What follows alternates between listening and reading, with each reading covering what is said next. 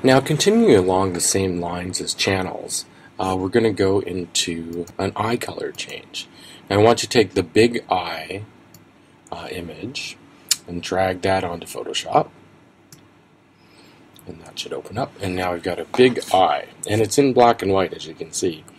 Um, we're going to maximize the image gain of Command 0, make it large.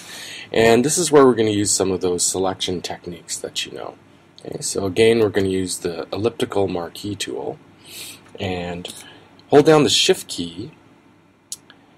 And if you drag out the circle like this and then hold down the space bar just in case you need to move it right into place. And then once it's perfectly in place don't worry about it going over the eyelashes or anything like that. And then let go once it's perfectly in place. Then hold down the option key and then drag out again a circle over top of the pupil and do as close a job as you can there. Now, to get rid of this part here, we're going to use the lasso tool. Okay?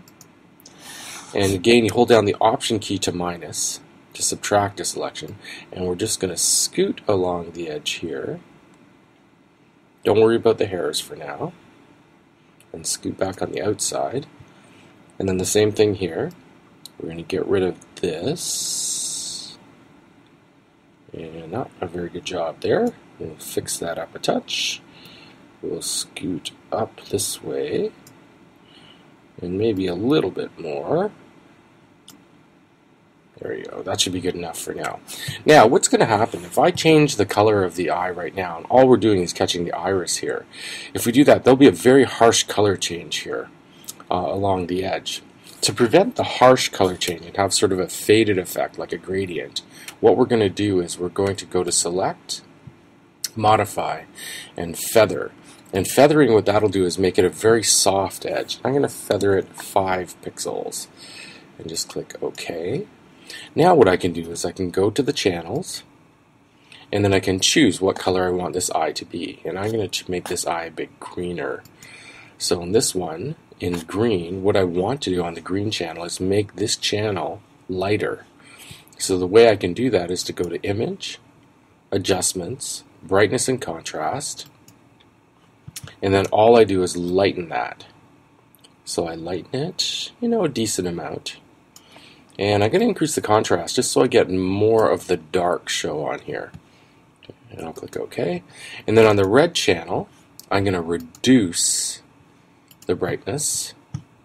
Take some of that red out there and make it fairly dark because I don't really want any of the red showing. And But I will increase the contrast though. And just to bring out the darks again. And the same thing on the blue channel. Now the blue channel is already dark but I am going to reduce it just a slight bit and again increase the contrast to bring out some of the darks then click OK now I'm just going to deselect okay and then we'll go back to the RGB channel now you can see how we have a really nice soft edge here see how it fades into the white much more natural the only thing you might want to fix in the future though is you actually might want to select out these hairs that are in here. But now our black and white photograph, or our sepia photograph, now looks like it's actually color. anyway, uh, give it a try yourself.